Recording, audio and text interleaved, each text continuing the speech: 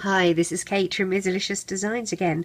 Well, this video is going to be about turning our 2D little mascot for FIFA World Cup 2014 into a 3D one with a little little round ball body. Very easy. All we have to do is make a ball. So we're going to do it on a single loom. We're going to be um, having all the columns the same height You're going to need your rainbow loom hook because we're going to be moving our bases. And I'm going to start with my big base holdings column 2 and 3 and the others are just holding all three of them like that. The arrow is facing toward you. If you don't have an arrow, it's the open part of the peg facing towards you. And we're going to be using just two colours, green and white we are going to be uh, doing 12 rows I believe. Let me see. 1 2 3 4 5 6 7 8 9 10 11 12 rows. That's right. Okay. So we're going to start using double bands as I said which is two bands that you're going to place on the pegs together as if they were one. We will do our first three columns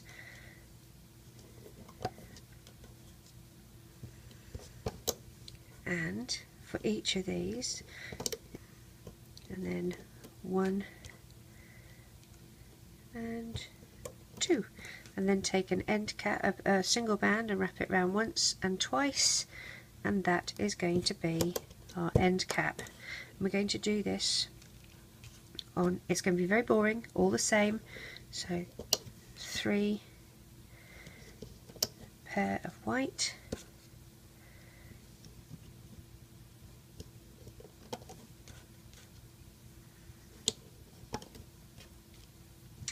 two pair of green and a green end cap on the end of each. The end cap is a single band that you wrap around your hook twice.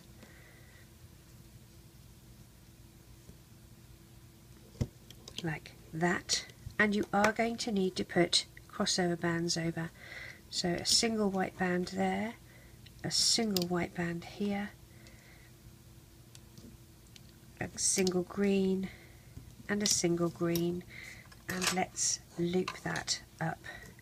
Dig down, grab the bottom two bands and loop them up.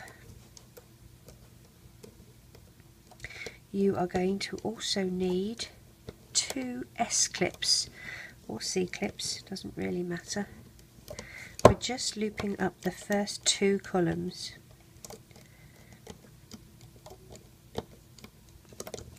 Then you're going to get a holding hook and you're going to take the first column off your loom and take that first column of pegs off and move it into position number four. I'm going to do the same again three pair of white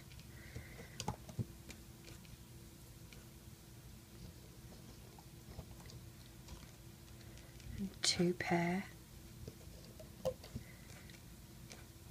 of green and a green end cap. Drag these across and loop up.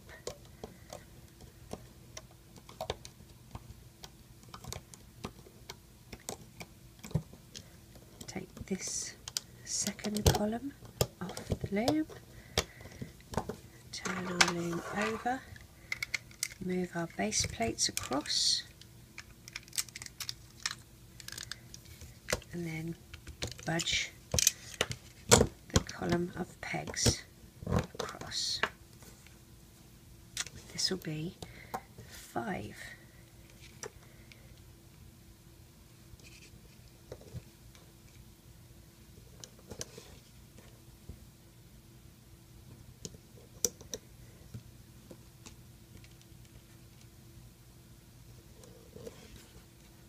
single and drag across.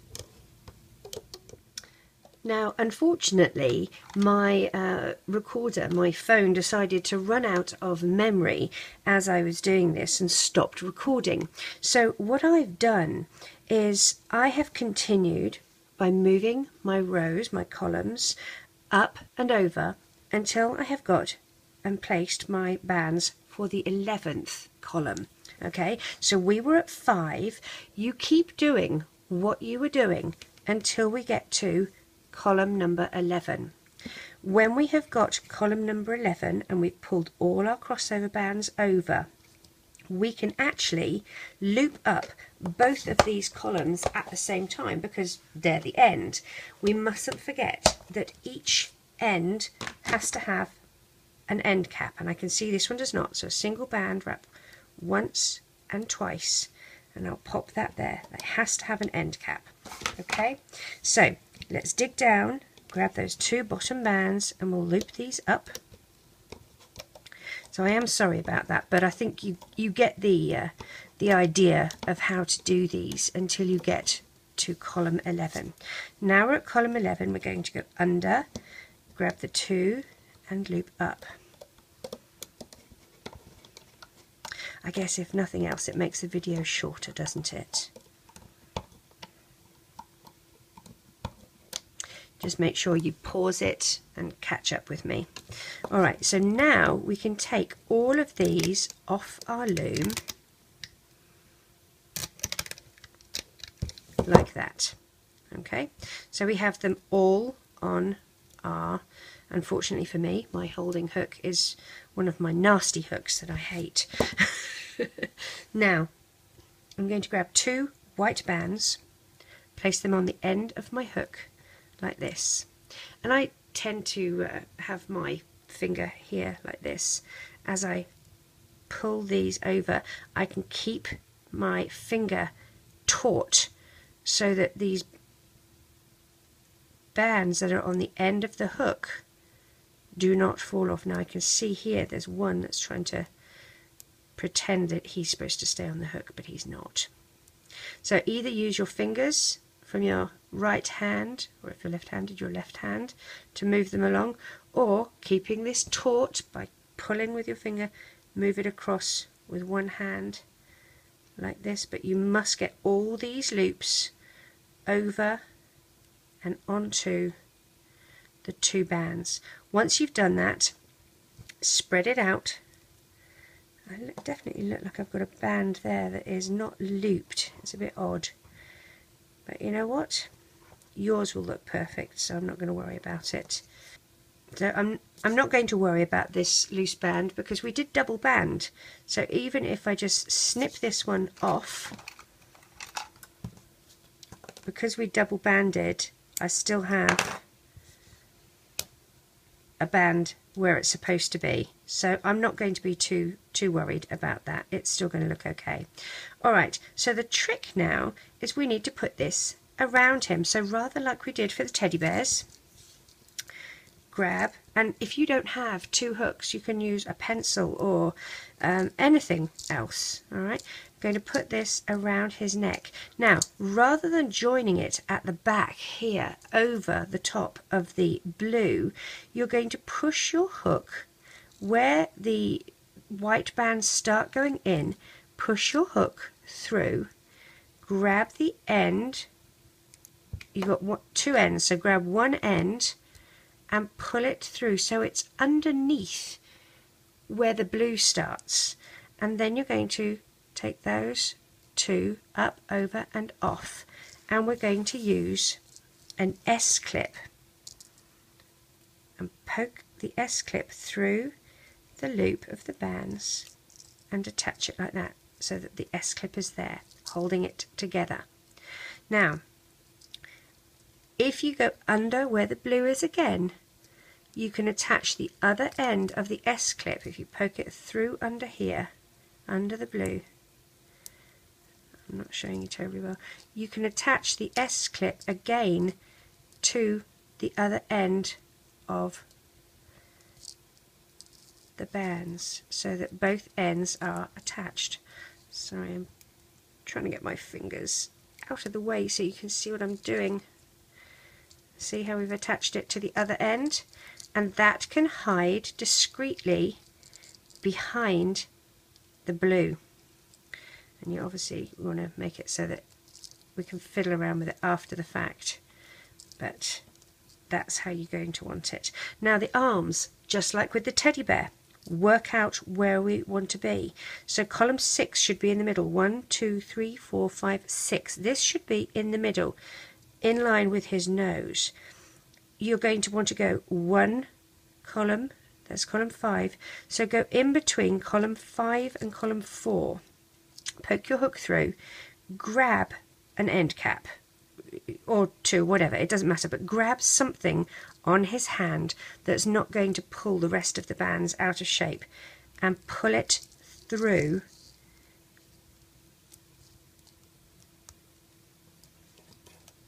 the ball. And by grabbing the end cap, you're not misshaping the rest of the bands and pulling them out.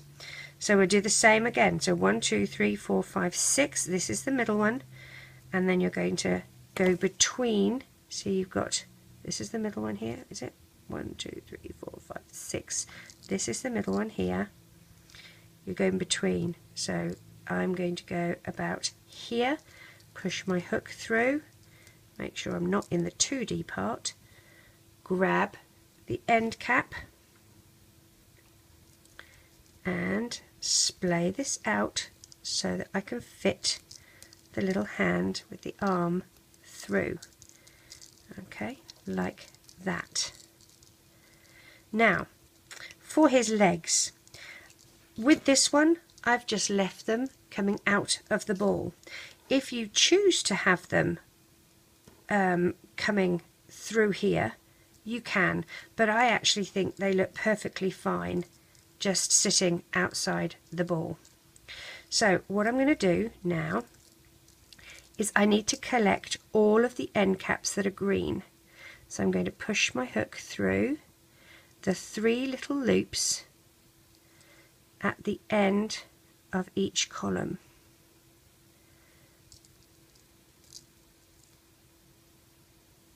And it does get quite crowded on your hook. Just need to squish them all back. Oops, that was more than just the three little loops. So there's all the little loops. I'm going to get two green bands. Put them on the end of my hook and I'm going to work all of these loops through.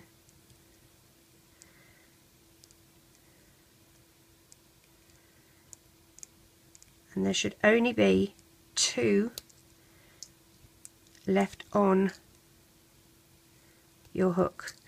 So if you find that there's three, you've got one that's trying to be sneaky and stay on the hook. Needs to come off. Again, you're going to need an S clip or a C clip. I prefer the S clips. Push his legs through so that they're locked between and I'm going to just come under the blue bands there at the base of his tail grab the green the other end of the green so I'm, I'm reclaiming my bands move these under like so and I've lost one. Go back and get it. Come here you. You're coming along for the ride as well. So pull that through. Um,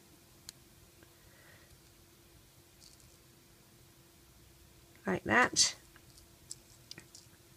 These pair up, over and off and we put our S clip or C clip onto these two bands like so. I'm not sewing this back up. It's just going to stay like that. Alright. What I am going to do though is use my hook to grab the other end of the S-clip and poke that through again so that it can hide under the tail.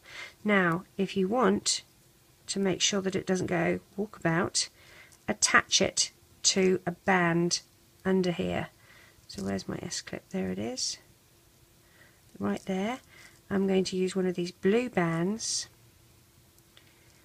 and I'm going to just clip that in on my S-clip. Sorry, I'm I'm trying to do it so that you can see what I'm doing, but I'm being a bit of a fumble finger in my attempt.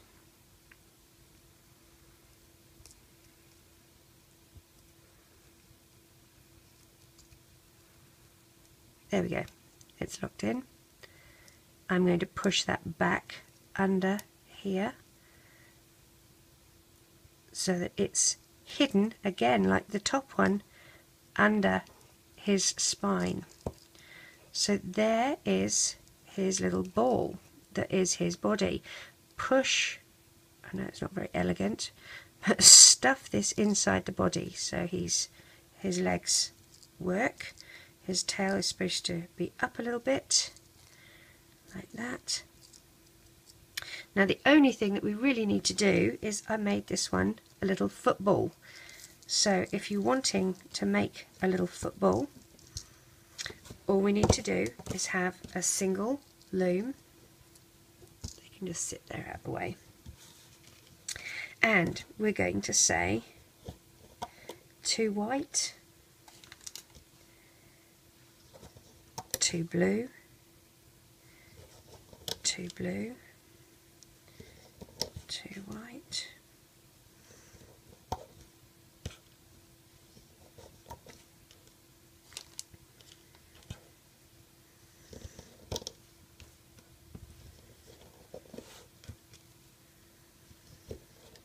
and we're going to come down four down here.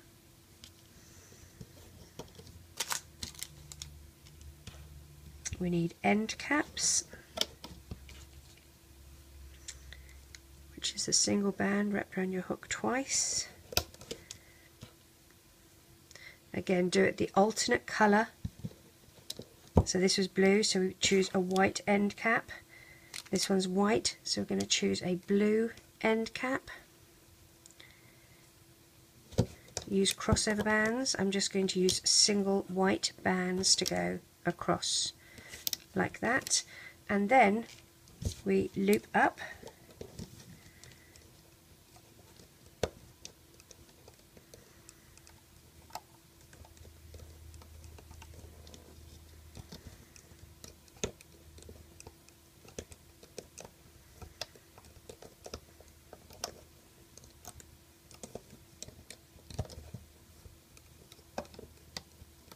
Now I've done it blue instead of black because on the actual picture of the mascot it was blue. Take this off your loom